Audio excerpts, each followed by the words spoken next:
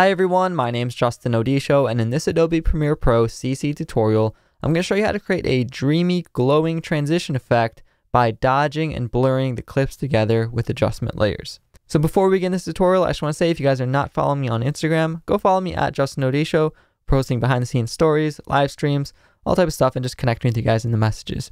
So I've got a couple of example clips laid on the timeline that all just cut into the other and in order to create this transition effect, we're going to stack a couple adjustment layers. So make sure you have your project media bin highlighted and then go to File, New, Adjustment Layer. Here you can press OK and let's right click on the adjustment layer and under the speed and duration, we can adjust the length of it so we don't have to crop it down. So let's just do two seconds in this case. That'll just give us one second on each side of the clip. So I'll click and drag the adjustment layer onto the clip and now you can see it's exactly two seconds like we said and just make sure it's symmetrical so that there's the same amount on each side. One way you could do that is just use the arrow keys on your keyboard to make sure you're exactly on the cut and then place the clip on the end. If you have snap, magnetic snap on, it'll automatically snap on and then just pull it leftwards until you see the timestamp say minus one second because it's two seconds long. So we're going to minus one second from each side and you can see we're even on both ends. I know it can be kind of tricky sometimes. So whatever way that you want to use to get it centered, now that we have it, let's add a couple effects onto it. So open up the Effects tab and search for an effect called Gaussian Blur. You should find it in the Blur and Sharpen Video Effects folder. So click and drag this onto the adjustment layer, and now we're going to add a couple keyframes. So since we're already at the cut, let's click the stopwatch icon and increase the blurriness to about 100. If you want to go stronger, it'll get more blurry, so 100 to 200, whatever you prefer. I'll do 130 and make sure you check repeat edge pixels. That'll prevent it from getting that vignette where there's no video information.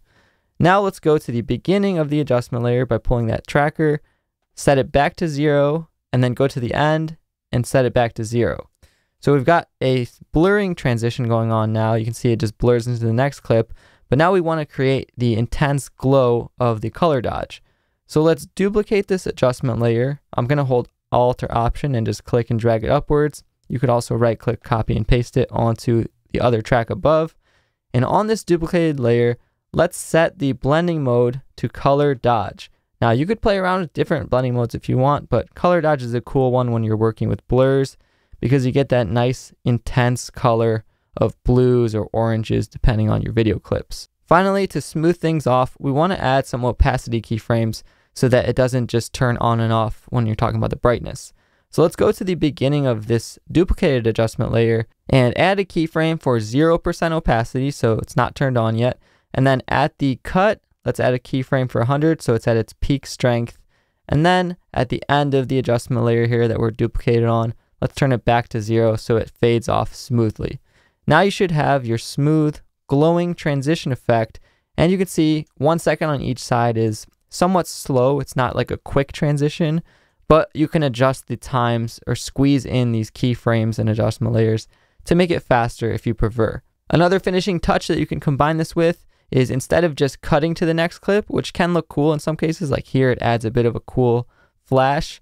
In other cases where perhaps the colors don't blend as well, so for example, this where it just goes straight orange to blue, it's kind of a bit more abrupt on the eyes. You could add a slight cross dissolve on the actual clips. So right click on the cut and apply the default transitions, which will be a cross dissolve. And you could stretch that out a bit. So now you don't just abruptly fade, you're also blurring and cross dissolving into the next clip. And it's another alternative option to keep in mind when you're transitioning with maybe some colors that are very different from each other. Also, another cool thing to keep in mind is you don't have to use this as a transition. You could just create a cool pulsing glowing effect on a solid clip with it. So that's how to create that intense glowing effect by combining keyframes, blending options, and adjustment layers. If you guys enjoyed this video, then definitely leave a like on it. Let me know what you thought in the comments, and make sure you subscribe to my channel here on YouTube so you don't miss any of my future videos. Thank you guys so much for watching, and I'll see you next time.